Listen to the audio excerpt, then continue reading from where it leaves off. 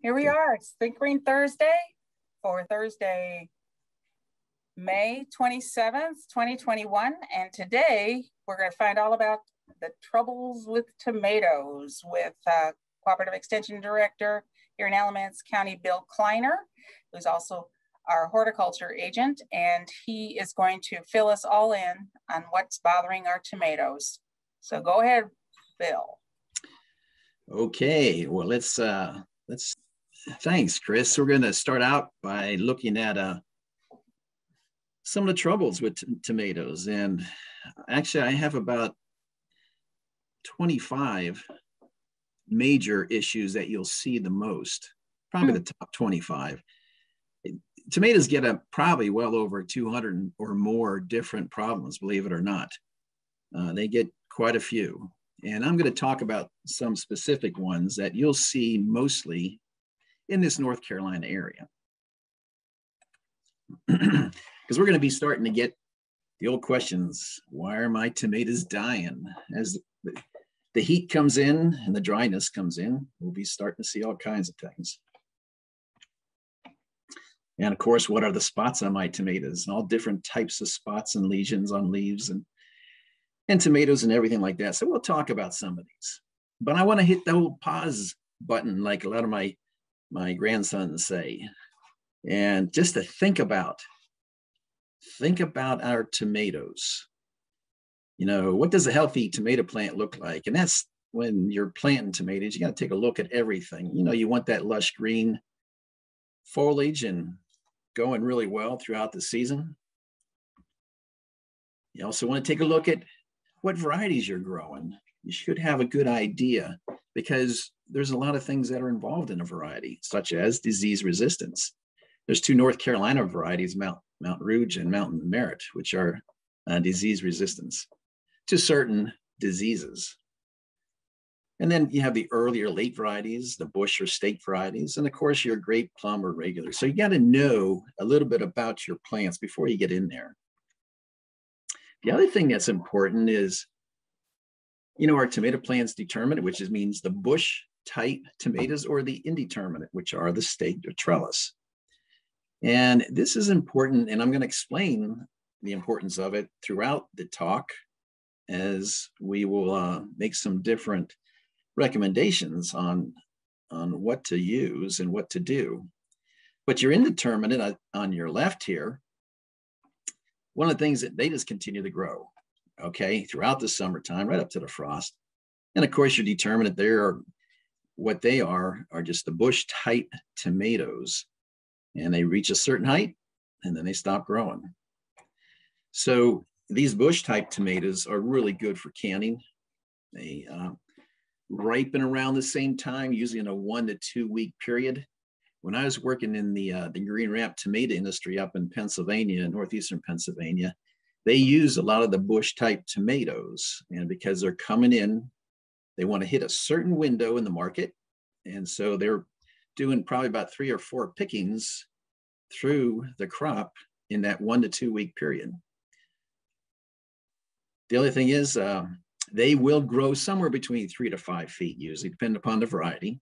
And that you can use a cage, but you don't have to have the, uh, the staking that's necessary in the indeterminate. Uh, so they're also perfectly suited for the container planting, which makes it nice. And here's just some of the varieties that are used that are determinate. the ace, the bush beefsteak, the bush early, And now there's a regular beefsteak and a regular early girl, which are the indeterminate ones. They're the, they're the ones that are growing up your stake and so forth. and an, an Italian Roma. I got something in my throat there. So the indeterminate, of course, are the ones that keep on growing throughout the up to the frost time. And so you need some kind of a support system, whether it's a stake or string or whatever it is. And you keep on growing. And here's a key factor. And one of the things for disease control, and is to take out the lower, take off some of the lower uh, leaves of that plant, because a lot of the fungus or fungi, they uh, they live down in the base of the tree or the the plant itself. I'm sorry. And here's some of your popular varieties, the beefsteak, big boy, brandywine, uh, some gold, and these a bunch of others. we'll talk a little bit about varieties, but we just don't have all the time to talk about a lot of varieties today. So that's that's actually another talk. Then we get into the actual diseases, disease problems. Uh, we have the non-living and the living type. That's the abiotic and the biotic diseases in the plant pathology terms.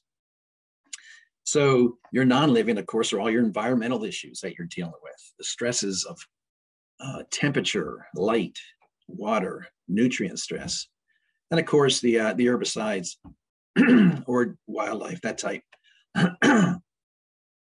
Biotic diseases are your living organisms. Those are all your, your the fungus, the bacteria, the phytoplasma, the nematode, and all the other viruses and different types of organisms that will infect the plants, plus all the insects and mites. So what we're going to do today, we're going to look at, at doing a, a cascading of the what do we call that? The, um, man, I don't see that on here.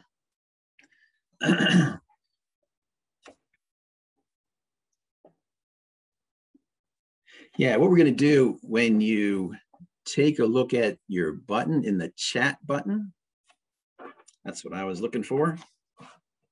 In the chat button or the chat, you could put down an answer. This is kind of like a practice because we're going to have all the 25 samples up there and you're going to you're going to take your guess at what it is or you might know them so the important question here this is like a trial now this little practice where did tomatoes tomatoes originate from so go to your chat box type it in there the country or area or continent and type it in there i'll give you a few few seconds to do that that's what I was looking for. And then when I tell you, I'm going to go three, two, one, and then everybody push their their uh, chat button at that point. Can everybody? Does everybody understand that? So if you want to be more interactive and participate, it's it's kind of neat when everybody puts their questions or their answers out there to the question. Okay, you ready? Give me a little bit of time. Three, two, one. Everybody hit that button. Looking for that chat box. There we go.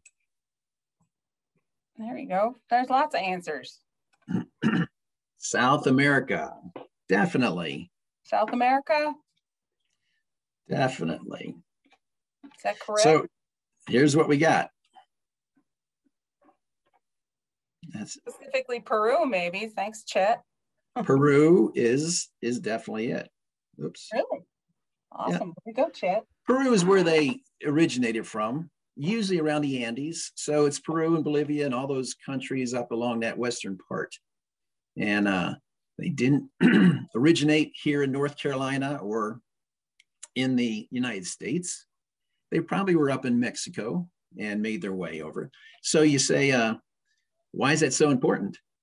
Well, it's important because think about where they originated from. It's more subtropical. And it's a plant that won't tolerate a lot of a lot of cold temperatures. Uh, in some of these areas, you probably have sufficient amount of uh, moisture and everything. So that's one of the reasons. So South America or Peru is the, the correct answer on that one. So I'm going to give you your first sample. What if you came up to a tomato plant in April or May So you're out in your backyard and it was looking great the other day, but then suddenly the blossoms started dropping. So what caused it? What do you think actually caused the drop of those blossoms? Are we cascading again? Yes, put it into your chat.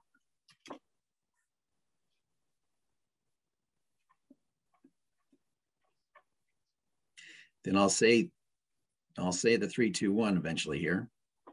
Okay, three, two, one. Everybody hit that button. Cold temperatures, heat, cold.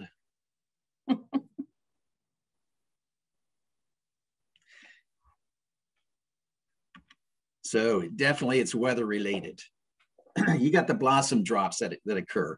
Temperatures that are too high, usually above 85, and sometimes we'll, we'll have that in the spring uh, during bloom uh, definitely you'll have the below 55 and a lot of people that put their plants in early. They have problems because the temperatures go below that 55 and sometimes their buds are falling off. But there's other areas too the lack of pollination humidity that's too high and sometimes a lack of water as somebody said there too.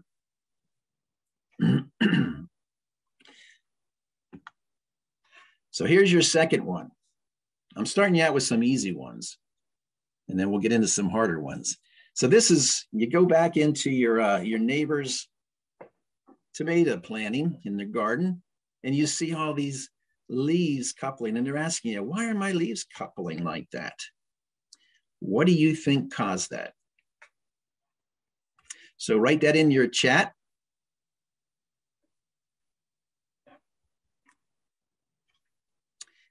We'll take a few seconds to let you do that.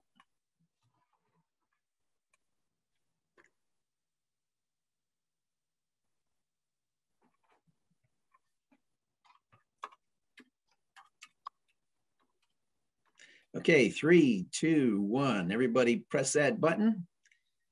And you've got everything from needs water, heat, definitely heat, needs water, definitely drought, water stress.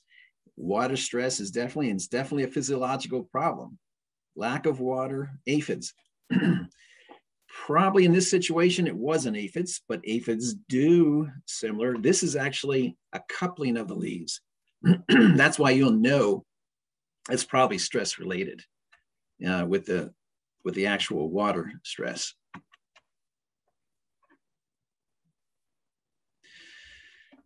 So that's where you get that curling or the coupling. It's either too dry and sometimes it's too wet. So when I say it's too wet, it might be a soggy area. Uh, it will sometimes do that coupling with the leaves also. okay, number three. Now keep track if you're getting these right or wrong too, because uh, I know Chris probably has his grand prize for you too if you get them all. Right, Chris? right. so here's number three. I guess what I'll I'll ask for this is what is this called? First of all, that's the big thing. And what causes it?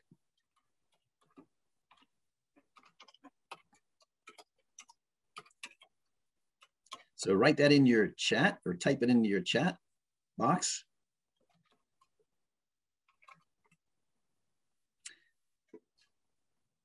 Okay, three, two, one. Everybody hit their button there. So scarring, cat facing, uneven moisture. Yes, that's it. Cat facing, cold. Yepper, that's it. Bottom rot. Well, it's actually known as cat facing. And the disorder occurs when weather conditions interfere with the proper pollination and fruit development. So usually during the cooler time periods, it's usually that below 50 degree Fahrenheit, which will cause some of that to happen. And you won't see all of the tomatoes do that, but you'll see throughout the plant, you'll see some. So cat facing is what it is caused by uh, weather related issues. if you're, I'm getting to what I was talking about in the beginning. So temperature has a lot to do with it. And because this is a plant that is grown out of its native cl climate. Now here's one, I'm sure many people have seen this one. You find it on your fruit and it is, you got this little black, and sometimes it turns yellow first, right at the tips of that bottom part of the uh, tomato. So what do you think causes this? So you put that down.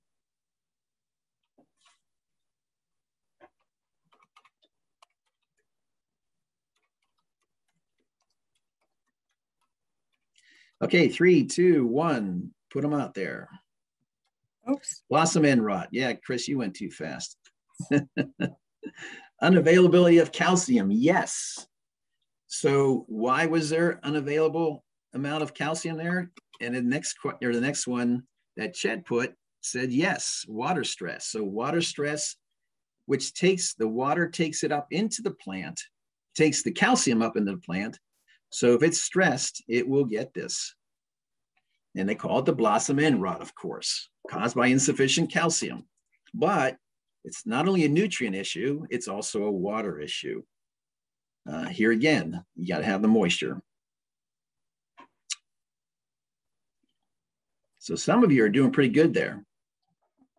Chris, you better have a good prize.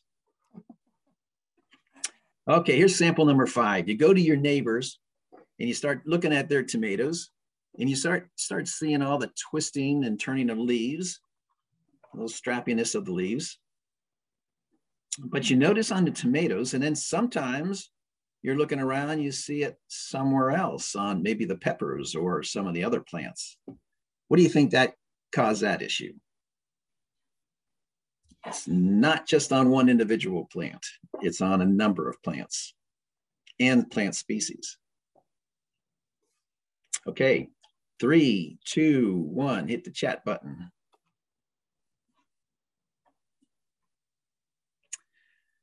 Yes, herbicide.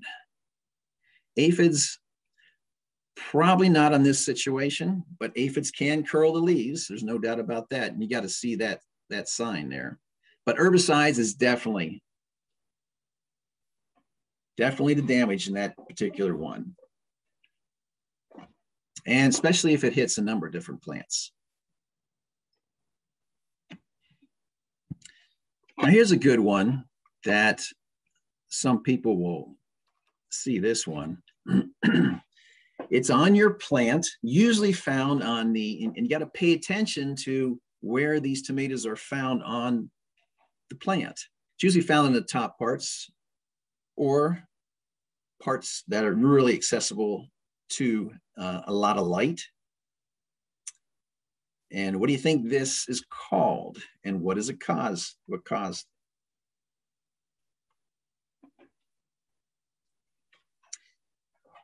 Okay, your chat button.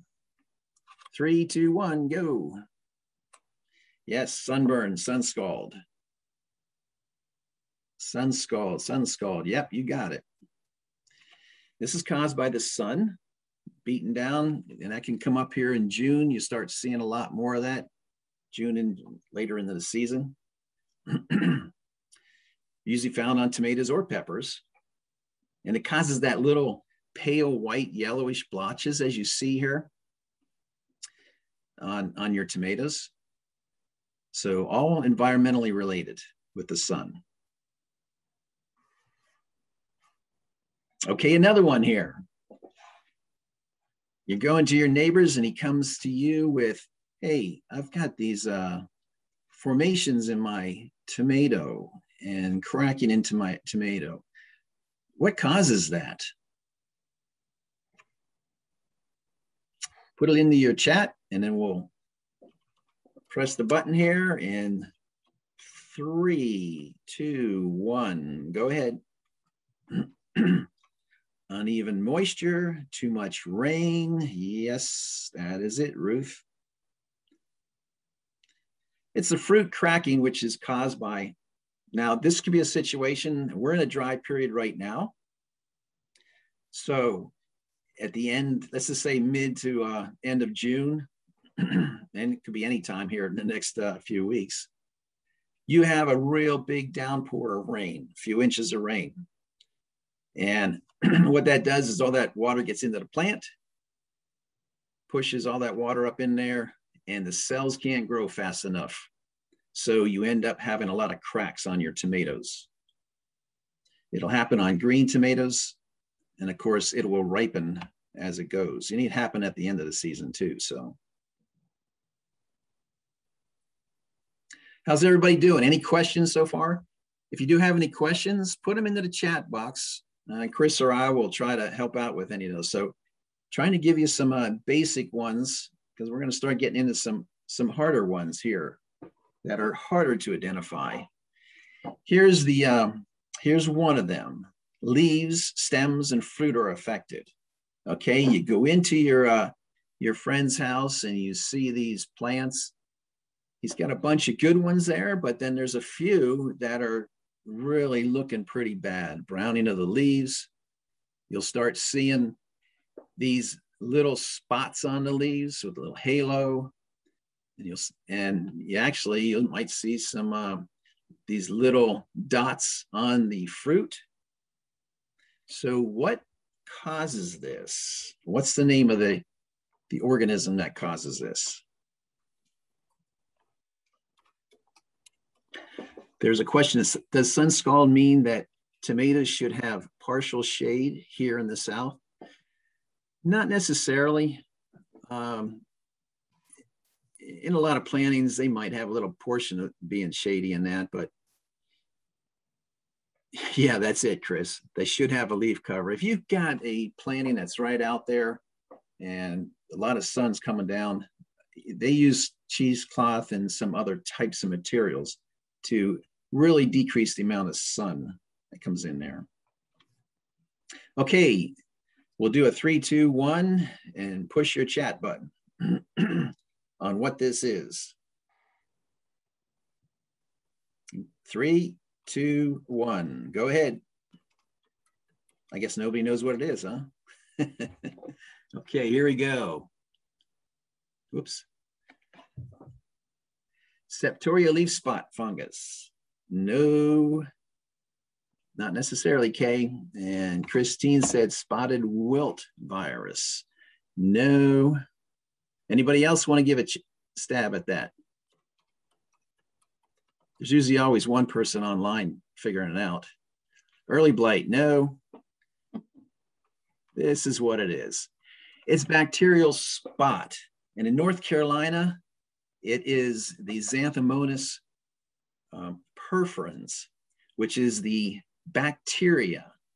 Bacteria is a problem uh, with, with tomatoes. There's quite a few bacteria actually, and I'm going to talk about some of those. So the the Xanthomonas perforans is the one that will cause the problem. And it gets onto the leaf, causes that little circular and water soaked um, on your leaf, and actually will get also onto the fruit as I've showed you. And this is only controlled by good sanitation and, and watering methods. So you don't want to water overhead. Try to keep your water you know, either a soaking hose or something of that nature. Now, there are copper-based compounds, and copper base, of course, is on the organic list uh, that can be used. Now, there are some fungicides that can be used on that too, but in the home garden, I would use a lot of the more sanitation methods to keep the leaves from off the ground in relation to uh, uh, overwintering, that type of thing. So here's another one. You start seeing some of these little dots on the on the uh, fruit as well as on these leaves. You'll start seeing these little type of lesions that are on there. And this is a tough one also. Let's see if anybody can figure this one out.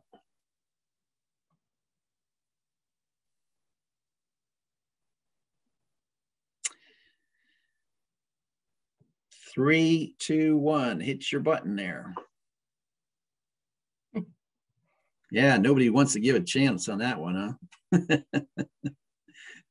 okay, it's bacterial speck, another bacteria. This one is Pseudomonas syringae. So there's some different types of bacteria that are causing some problems. And the key factor is to know pretty much how to identify a bacteria. It doesn't matter whether it's bacteria spot or speck Spot is what you're going to see most of in the North Carolina gardens and plantings. And again, this, this one does leaf, stem, and fruit. And you'll see that your best controls, of course, are the sanitation and watering methods and some of the copper-based uh, compounds. That's your best control on some of this.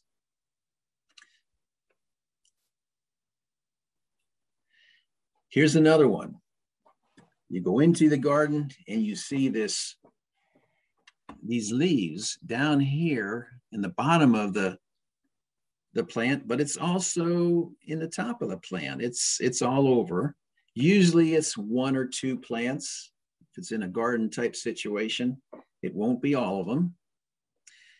And if you follow that down into the stem, you cut you cut your stem off there because it's you know they, the plant's pretty well done, we'll say, and you can notice this browning that's occurring now. Now, if you cut this off, put in a glass of water, you can see the actual bacteria coming out of there, and then you know it's bacteria related. That's just an easy way of doing it. Okay, three, two, one. Oh, you're thinking stink bug damage. That's a good, that's a good guess. Anybody else have any uh,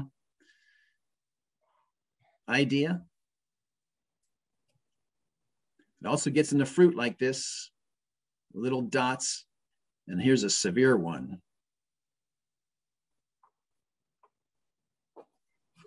No idea. Okay, this is the bacterial canker. So I just gave you three of the main bacterias. Bacteria, the things to remember about bacteria is the bacterial spot is probably the one that you're going to see the most and will cause you the most problems. You'll see the spots on the, the fruit.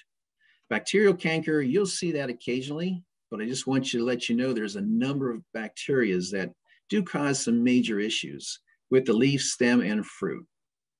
This one's caused by the Clavibacter uh.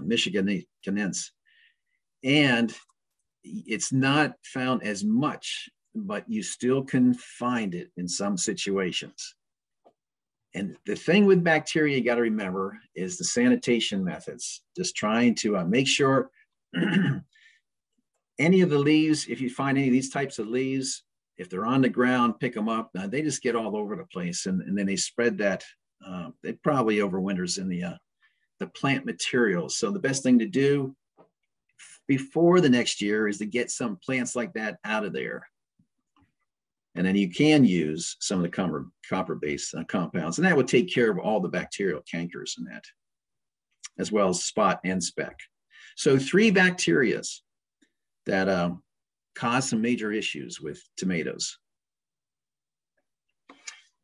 Now we'll switch some gears into you're going to walk into the garden and you start seeing your tomato start getting this little spot on there that's kind of gushy and uh, not too good. This is a pretty common, I'm going to tell you it's a fungus because you could start, if you take a look down at the base of the plant, you start seeing some mycelium down in there. This is all part of the fungus, so it is there. So which one do you think causes this? This is a pretty common one.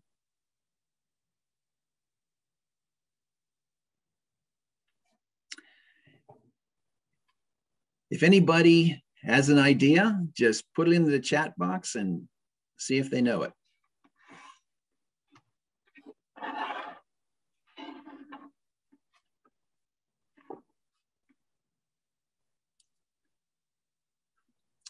You're saying southern stem blight? Nope, it's not southern stem blight. You're getting close. I say this is a pretty common one because it's found in raspberries, um, blackberries, a lot of the berries, strawberries, uh, and a lot of the uh, vegetables. And it is botrytis gray mold. Botrytis is a fungus that really is a, is a devastating one uh, for a lot of plants. And it gets on the leaf as well as the lesions. It's got that, that whitey soft rot and often uh, it ruptures the skin and everything. But if you see here, this down in this area, you'll see this whitish uh, mycelium down in here and brownish around the, the base of the tree or the, the uh, plant itself. Here again, botrytis is one of those, it's all cultural practices. I mean, there are fungicides that take care of it, but there's no sense in, in doing that. You, your cultural practices will, should help in, in any manner, but that's something that you might have. And if you do have it, so the next year, it's better to uh, rotate your site if you can, your garden if you can, or try to clean up your leaves as much as possible.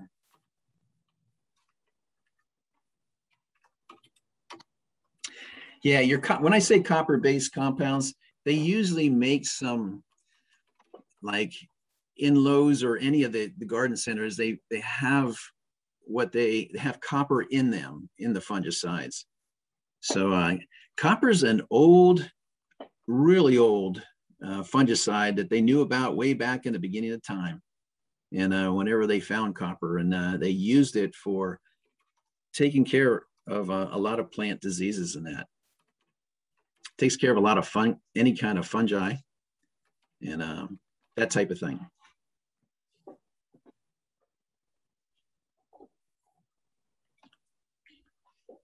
Home Depot had Southern Ag liquid copper fungicide. Good, good point.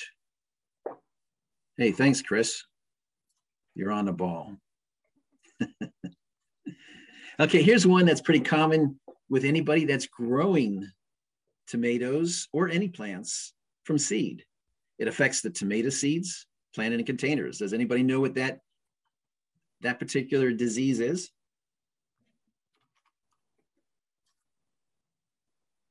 If you can, just put it into the chat box. Let's see how good some people are. Damping off, you got it. This is damping off of tomato seedlings. And of course, this is a result, it's another fungus and it's many of them. So it's Rhizoctonia, Pythium, Fusarium, it's all the different types, Phytophthora, uh, that cause problems for growing of any seeds.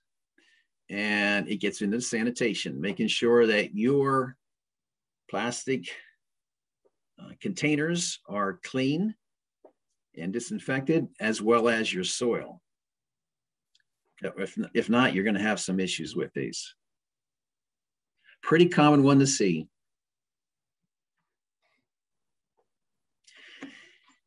Now, this is one that if you go into your garden and you see a lot of leaf, stems, or fruit, it's dying from the bottom up, making its way up the plant.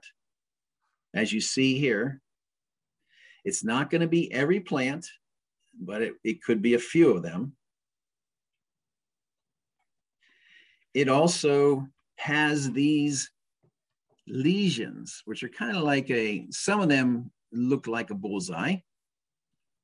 These little spots with little halo. Anytime you see the yellow, it's just the, the, fun, or the leaf walling off the fungus the best they can. But you also see some spots on, you'll see some spots on fruit too.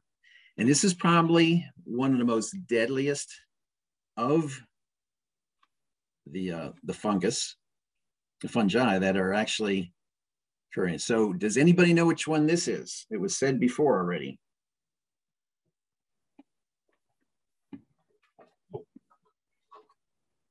If anybody knows it, put it up in the chat. Septoria, no? We're getting there though. so keep that in mind.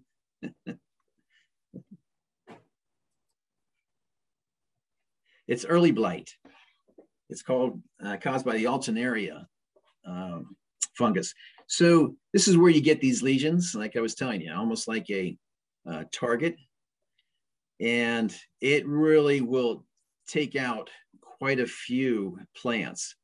This is one, they actually have a blight cast, they call it. It's a computer program that growers would use to put on the proper fungicides at specific times throughout the season. That's that's the critical part. If you're going to do any kind of control with fungicides, you got to get it at the right time. And it has to deal with the temperatures and the amount of moisture that's out there. And they kind of know all the information on how to do that. But for a homeowner, you're going to probably do these type of, of cultural controls. The trellis tomatoes, to increase the airflow. You want that airflow so they're not spreading more of the spores. You use a mulch to prevent spores from splashing up onto the plants. That's critical. And then remember I was talking about taking off some of the bottom leaves as the plants grow. You can do that in the uh, your tomato varieties that are staked there. You take off some of the, the bottom leaves and not a bunch of them, but I'm just taking like the first few, um, first few there because they're the ones that will get the spores that will come up as it rains and the, the drops will come up onto those leaves and with the fungus itself. And a big one, of course, is rotating your garden. If, if you're in a site that has this really bad, your best is if you, if you have another area to, to go to, that's your best idea to do that. Sometimes a lot of homeowners can't do that and it makes it difficult for them. There's all kinds of fungicides on the commercial level that, that take care of that, but they have some also uh, for the homeowners. There's some vegetable uh, sprays for early blight.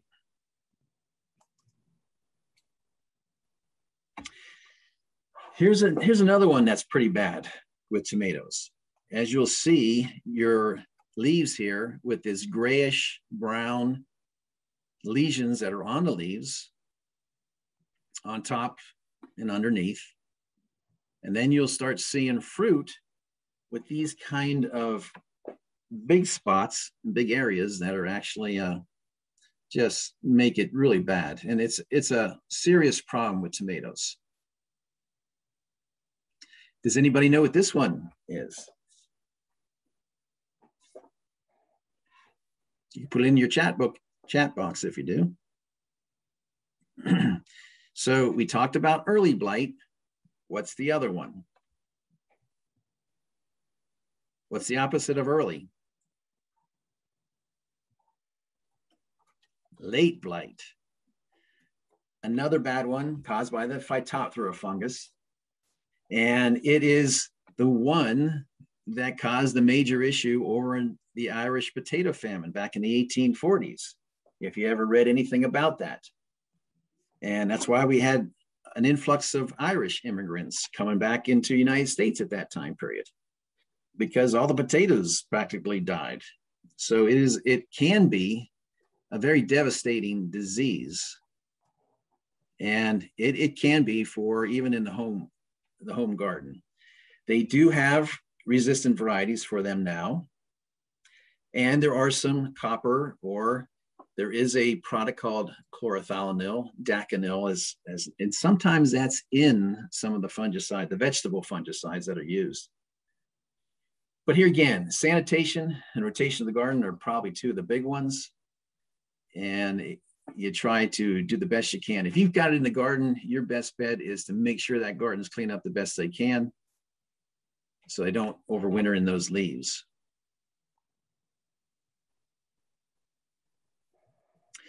Okay, here's number 15. We're gonna change organisms now. You come up, come up here, we get some fruit that's all kind of like mottled as well as the leaves. You got this uh, yellowish mottling that happens in the leaves all over the plant. Does anybody know what would cause something like that?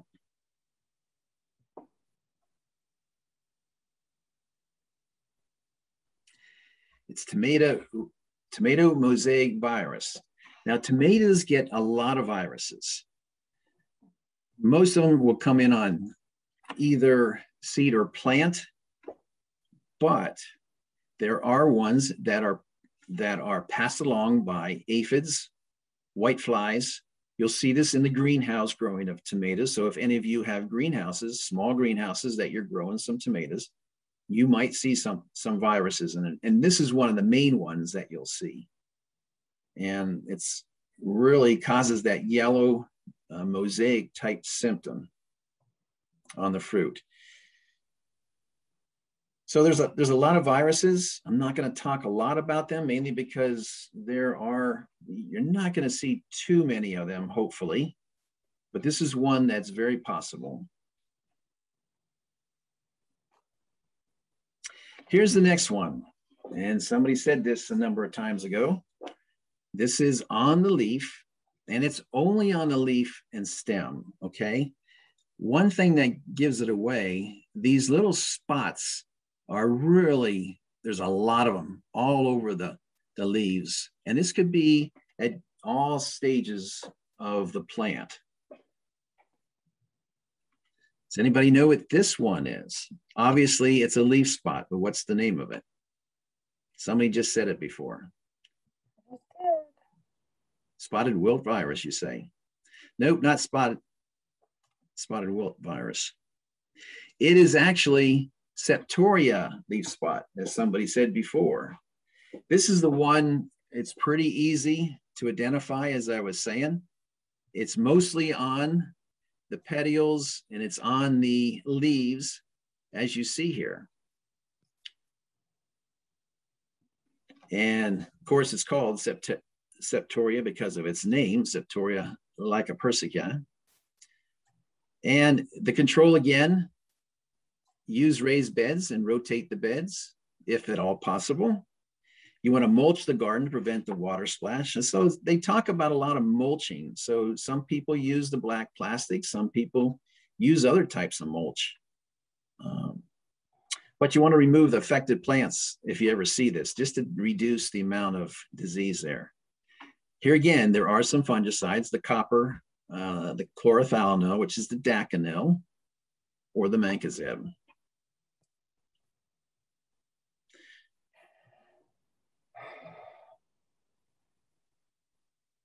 Okay, number 17, we're going to get to one. This was mentioned too, I think, before. This is a, you come across these plants that are in a row, and one or two of them are wilting. Now, if you go down, of course, you see the leaves wilting, the whole plant is wilting. It's usually later in the season you'll see this. But then if you go down by the actual uh, plant down by the base of it, you cut it and then cut it open, you'll see this dark um, cell growth there.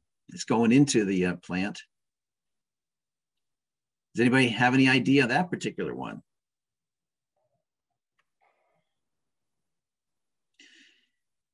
Here it is out in a field, which you will only see it by a number of plants. There won't be all the plants throughout the planting. It'll be just a, a number of plants. That's why in a home garden, it'll only be one or two plants usually, if you see it.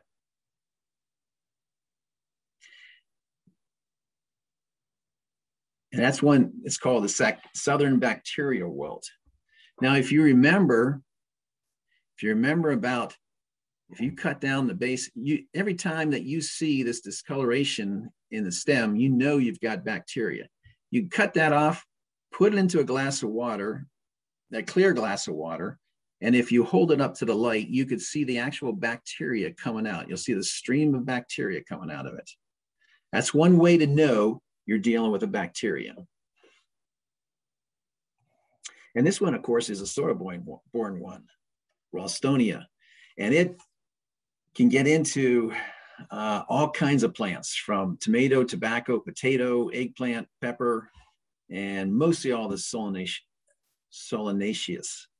plants. Here again, cultural methods, sanitation, crop rotation are the big ones. Um, they even use bacteria resistant rootstocks, believe it or not. They must graft the variety onto it. So that's kind of interesting. I've never seen that before, but it's it's a practice that they do use.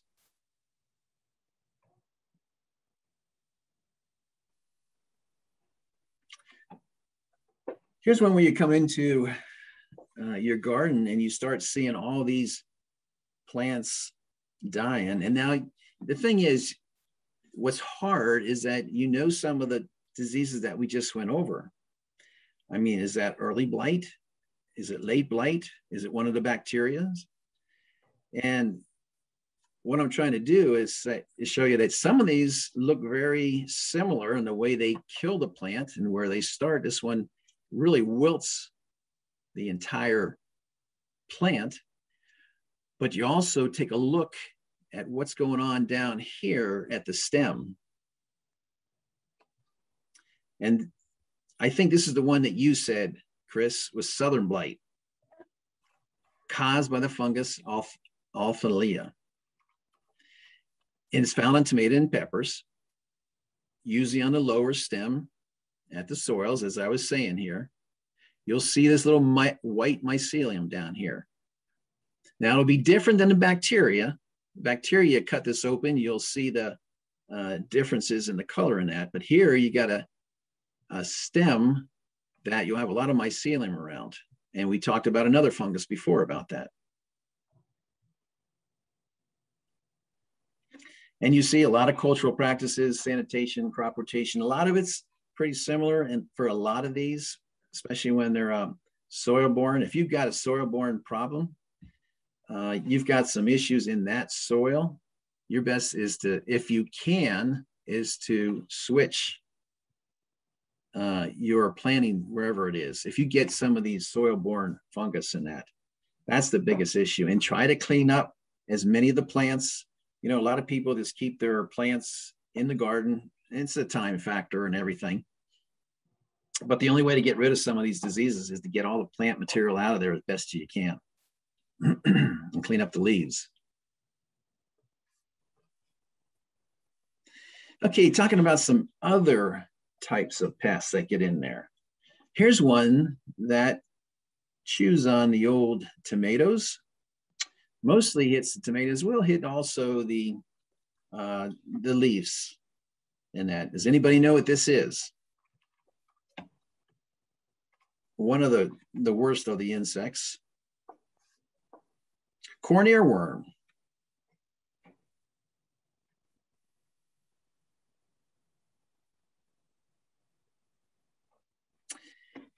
It's uh, the tomato fruit worm, which is, yes, in that whole family of the corn earworms. and loves the leaves and the fruit. Uh, control, just like they do in corn, they use the BTs, the Bacillus thuringiensis, bacteria that actually kills it. They also can use some pyrethroids. So that's one if you have a serious problem with that. And that's probably, it's one of the tougher ones or it, it is one that you would you would see is a tomato fruit worm.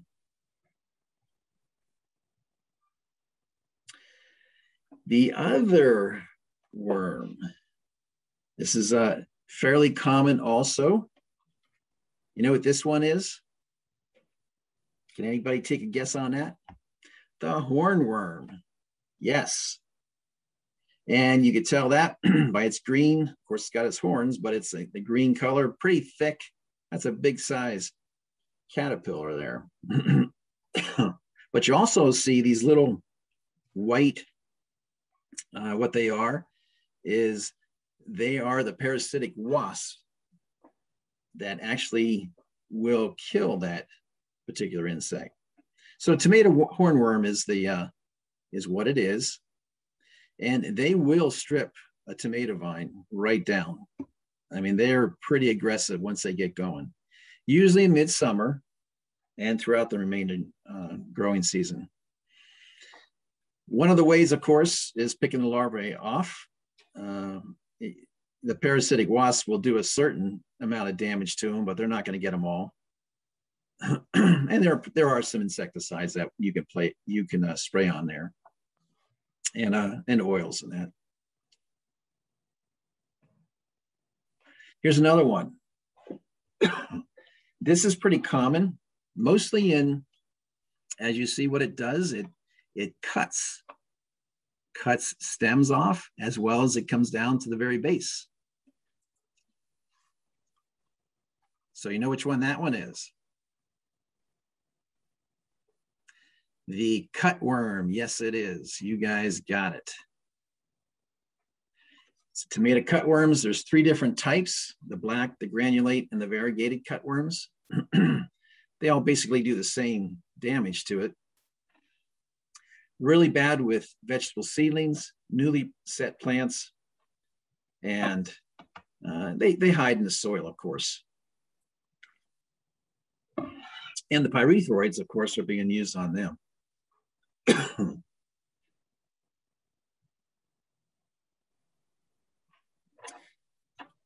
So here's one more.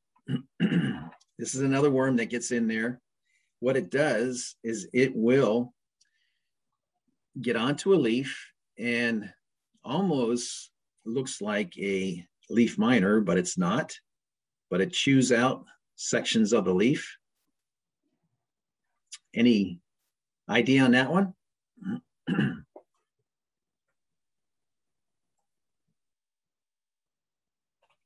it's a tomato pinworm. Now I didn't put the fruit there with a little hole. I didn't want to give it away too fast, but I should have. It's usually feeding on the leaves and stems mostly, but it also, when it gets done with the stems and the leaves, it'll make a little pin type hole and burrow right into it. And the BTs, the Bacillus thuringiensis, and the pyrethroids are being used mostly to control them if you have a serious problem. I'm not sure if any of you have ever seen this one. I've seen this a number of times in some plantings, but they can be very damaging.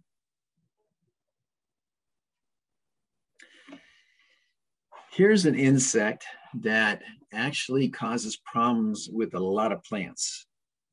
And not only in tomatoes, but many of the vegetables, it gets in the fruits. Uh, I found it in uh, peaches and nectarines. I've seen it on ornamentals.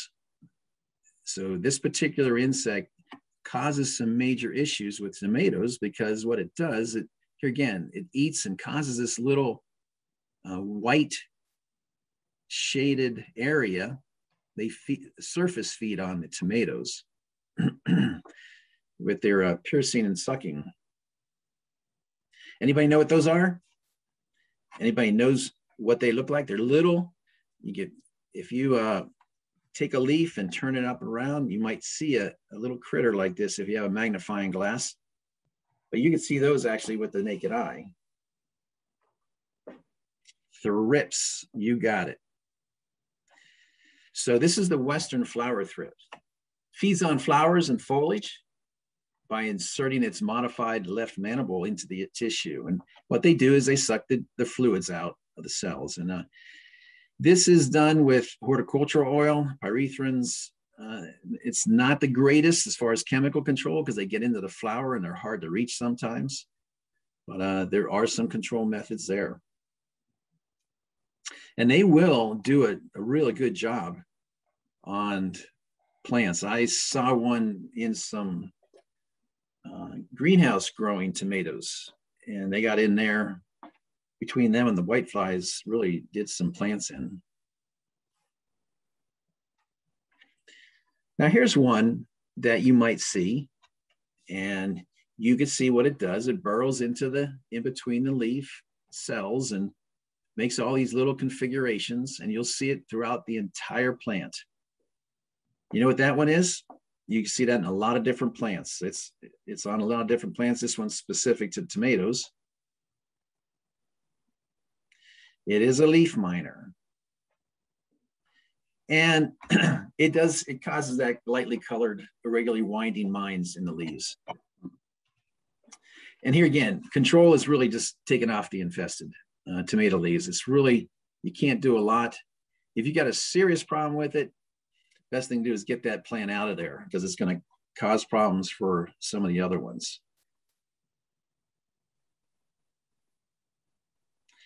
our last one which everybody loves are the wildlife.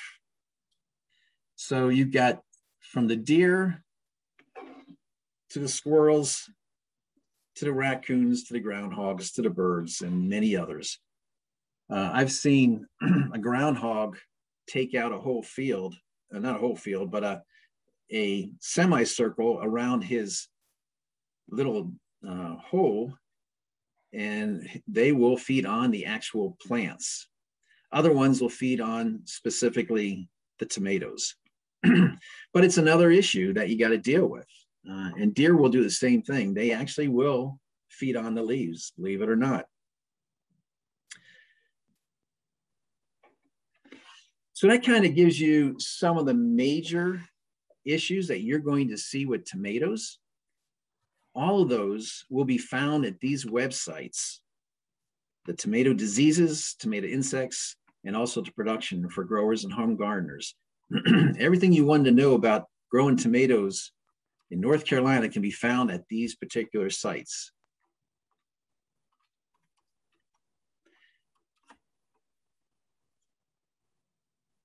The other thing too is if, if we can't identify some specific problem, we do use the plant disease and insect clinic, which are at these sites. You could send a sample down yourself. And if we can't identify it, they will uh, help us out. And they've got the actual tools to help plate out a bacterium or a fungus.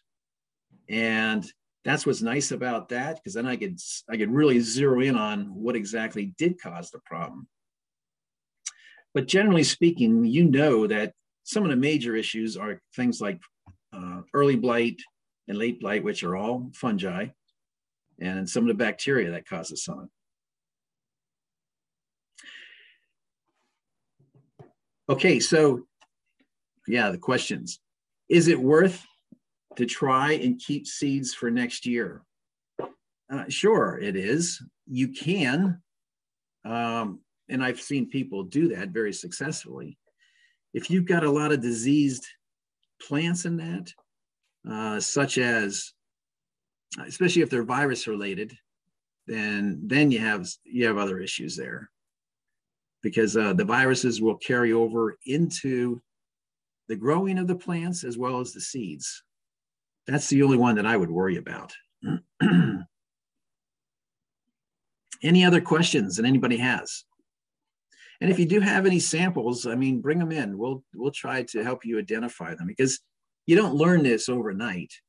A lot of these these are your main tomato diseases that you're going to see. Now, there's other things which are mentioned. What I, I didn't put aphids in there. Aphids are pretty common. White flies are fairly common, especially if you're growing them in the greenhouse. But um, there's a few like that, but most of the other organisms, though, this is, you got some of your main ones right there. Any other questions at all?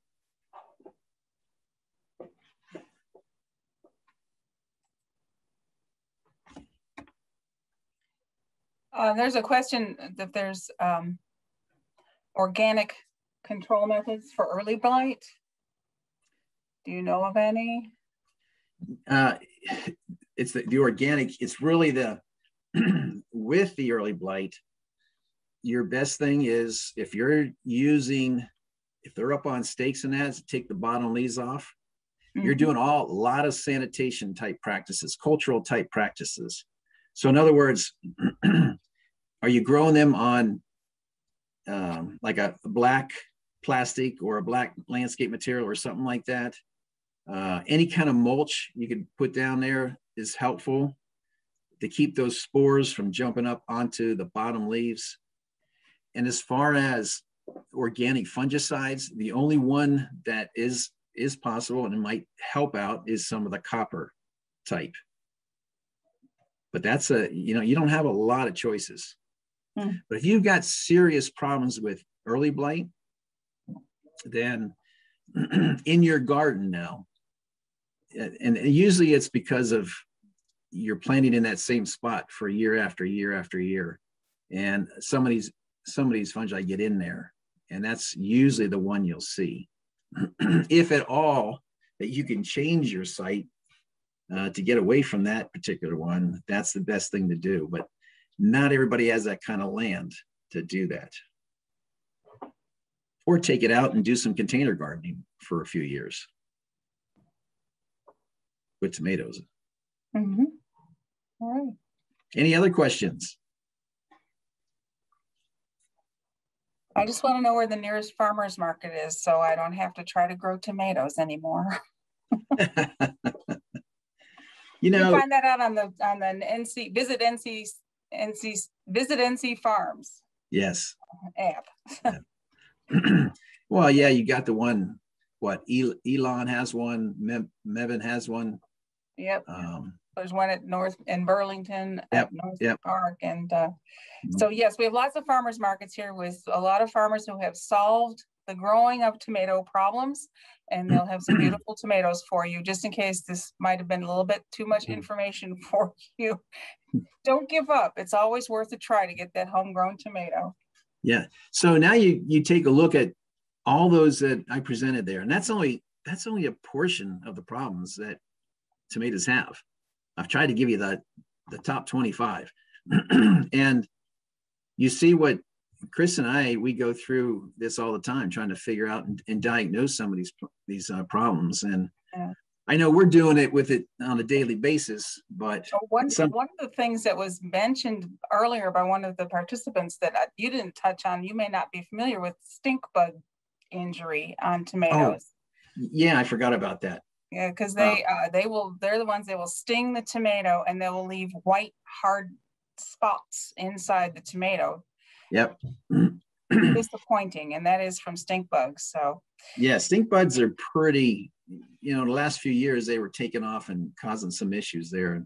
mm. Yeah, yeah, that's a good point, Chris. So that- So that's so that's one 26. Yeah, 26. Out of, out of seven thousand. That's becoming that's becoming more of a problem as the populations of stink bugs become a problem. And who knows what the next one is?